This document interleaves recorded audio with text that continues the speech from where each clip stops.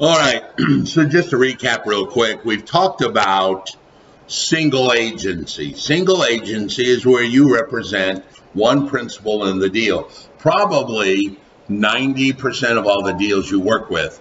Now, in the market in Indiana and probably throughout the United States right now, a lot of representation. So maybe it's not 90%, maybe it's now only 80 because there is a lot more representing of both sides of the party. Some states, Florida doesn't allow dual agency. So single agency is when you represent one side or the other. And I've said it once before. You're either the listing agent or the selling agent. Listing agent works with the sellers. Selling agent works with a buyer. That would be single agency. That is what we have been discussing up to now. It is possible that you end up under a dual agency where you represent both the buyer and the seller on the same deal. Very important you catch that last section. Write that down.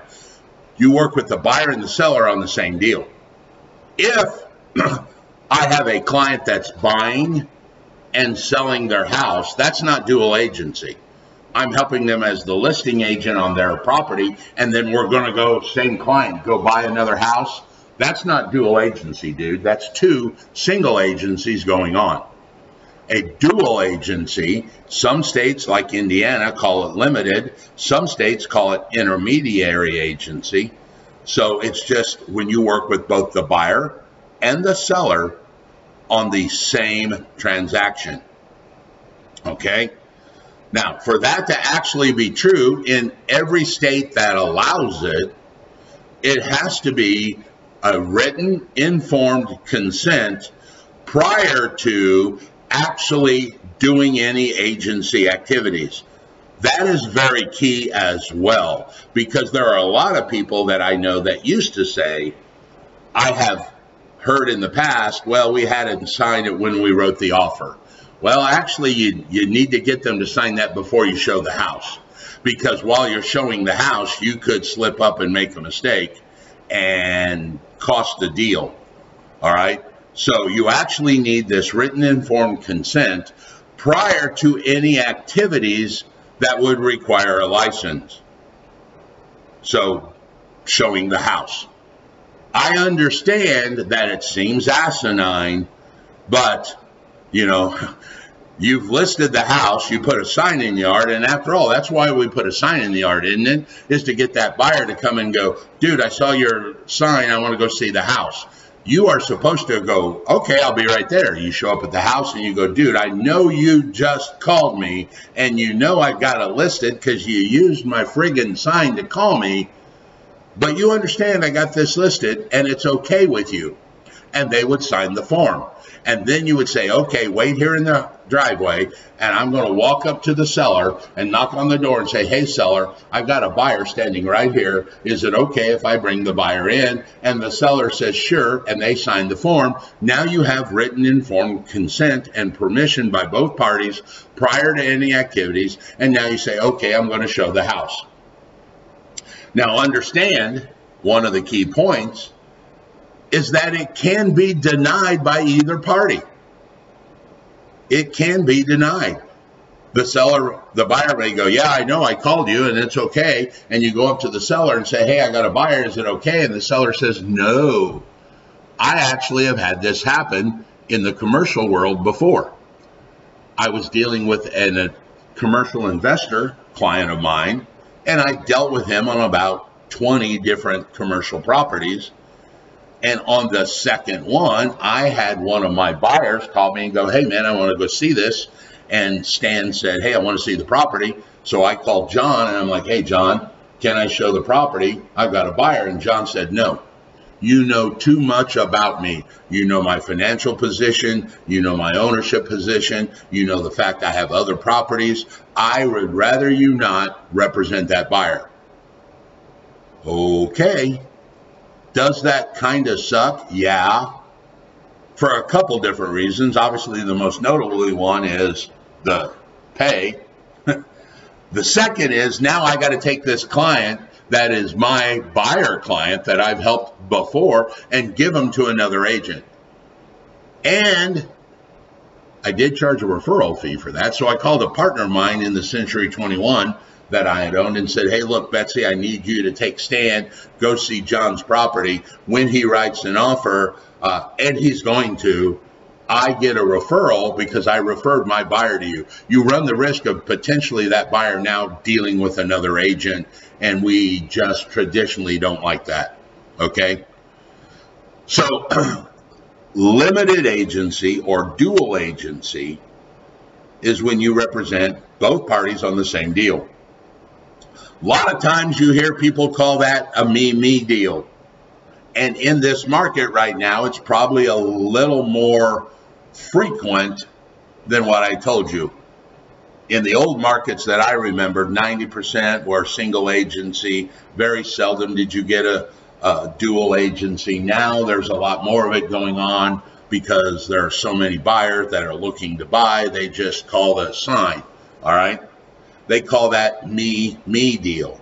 If you do it on a small me or a small house, that's called a mini me. Yeah, I pretty much screwed that joke up. Now, if two agents in the same agency are representing a buyer and a seller, that is not limited agency. Let me go back and say that. Let's, for the example, I'm a managing broker and Jim, yeah, you, works for me and has the listing. And Holly, in the back of the room, who works for me, brings a buyer. That is called in-house agency. Some states call it designated agency.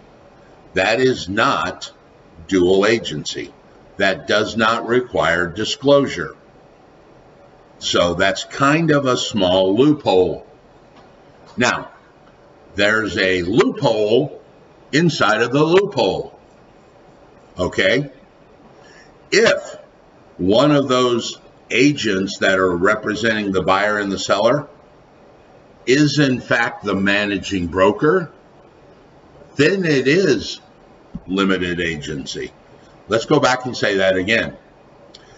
If Jim, working for me, has the listing and I bring the buyer myself, one of my buyers, that in fact is limited agency in most every state that allows it because I now know what I know and I can ask Jim and know what he knows so I actually have an advantage or actually have an advantage.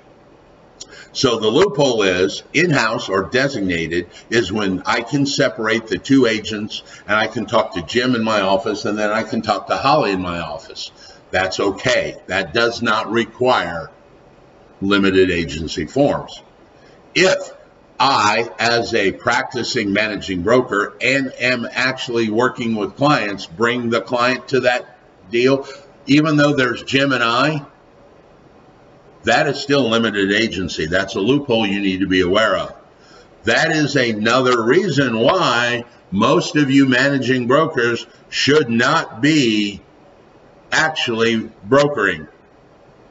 I know that's not a very popular point, especially if you work in a small brokerage that has one or two agents. You have to keep the lights on, so you broker there are a lot of reasons managing brokers should not be brokers, should not actual broker deals.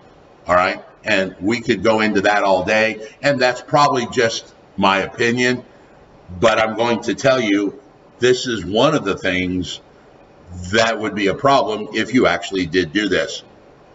All right. So make sure that when you're creating this dual agency, it is not accidental meaning don't get excited, don't run and show that buyer the house and then write the offer and then go, oh crap, I forgot to get the permission. I created actual, uh, um, I created accidental dual agency. Even though it was an accident, you still owe both people their obligations. Okay? If it's not consensual, it could have it could be deemed by your commission the, the state real estate commission that your part could be forfeited. Your commission could be forfeited in that. All right. I wasn't very clear. I kind of stuttered through it because I was looking at the typo error up on the screen here behind me. If dual agency is not consensual, the realtor may have deemed to have forfeited his right to the commission. There have been lawsuits where that has happened. All right. So just understand that, that the seller could come back and go, dude, you weren't legally their agent as far as I'm concerned because it was not disclosed and permission was not given. So there is this other concept that I want to talk about. And I'm going to tell you now that this next concept of transactional brokerage is actually one that is hotly debated back and forth many, many different ways in many different states, including my own state of Indiana. There is a lot of discussion with this. A transaction broker is one, in essence, which they now have two customers and they owe no agency loyalty to either side of the party. So you are not an advocate. Now you still still have non uh, fiduciary responsibilities. You still have to treat both sides honest and fair, but you don't give help or advice to either side. You are essentially the Switzerland of real estate. You become neutral to both parties. You cannot help them. Now, where you used to see this happen a lot and I'm telling you now, I've only done this about three or four times in my 20 year career. So it's not very common. Let's say a for sale by owner calls you up and goes, Hey, dude, I have already found a buyer. I don't need you to broker, which in essence is what we do bring buyers and sellers together. They've already done that but he looks at you and says, I don't understand the forms. Can you show me where to sign? And you look at it and you go, yes, sign here, sign there, sign there, sign there. And one of the clients or one of the customers says, oh, do you think I could have got a better deal? I can't help you. I can't create an agency with you because I am a transactional broker. I represent, in essence, the deal. I'm neutral if I give you advice, I have in fact created implied agency, and now I owe you all of my fiduciary obligations, which means I would have to loyalty, disclosure, confidentiality, and I don't want any of that. All right? You can charge a fee for that. Typically, typically, I'm going to tell you it's a flat fee, 500 bucks.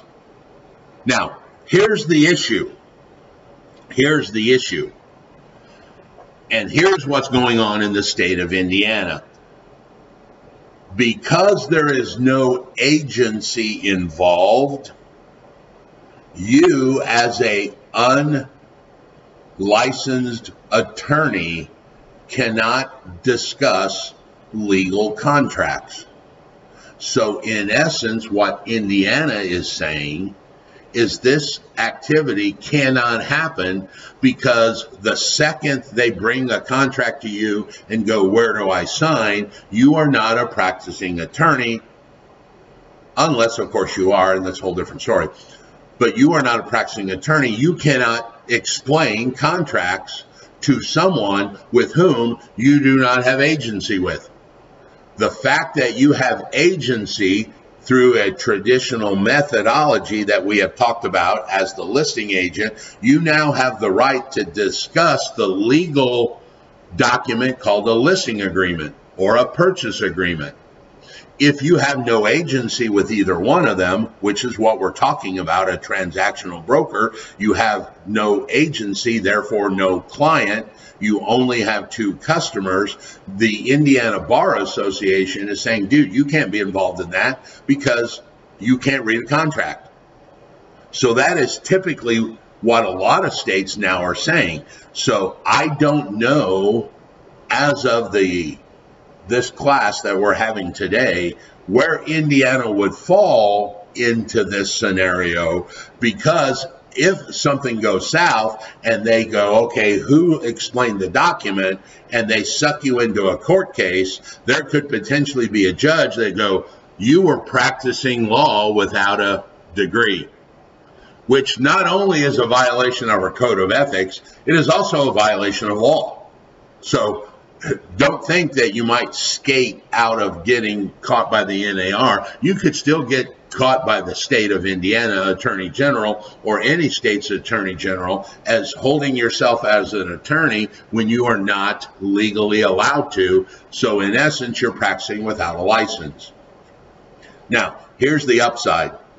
The upside is I've done three or four of these in 20 years. I would venture to say that 95% of you, if not all of you, have probably never done any of these.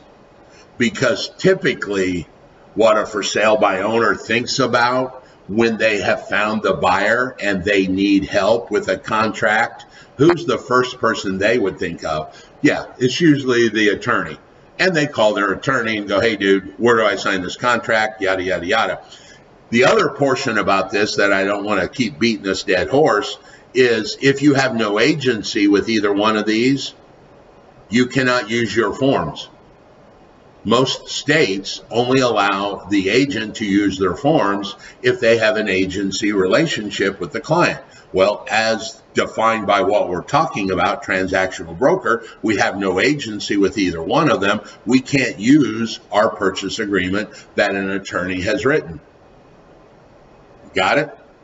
So you could also be in trouble there where your state agency comes after you and goes, dude, how did this for sale by owner and this buyer get your purchase agreement because you are not an agent or a relationship with either one of them. Now, if you are a single agent, like working for just a buyer and this for sale by owner who you don't have agency with, yeah, I have agency with my buyer. I can use my contracts.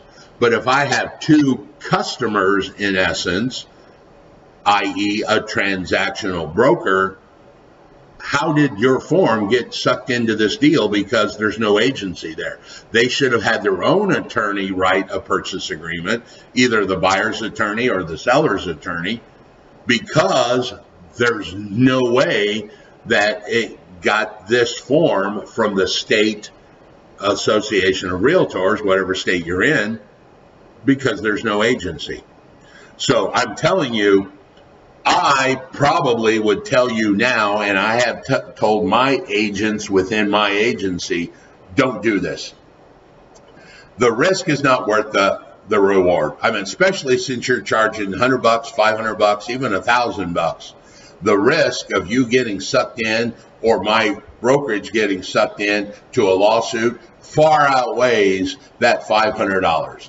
So while we talk about this in a course, I am going to tell you this is probably not a good idea for you guys. Most states are having heartburn right now, and most state bar associations love to go after realtors. All right. So it's just easier and simpler if I would tell you, hey, transactional brokerage, don't do it. All right. That would be my fatherly advice to all of you. Just don't do it. All right. Now, if you want to do it, understand there are risks that you are taking. Okay. Cool. So we've got single agency, one side or the other, and we've got this dual agency. Just make sure that the dual agency is an informed consent written by both parties prior to any activities that would require a license. And they can say no. All right, cool.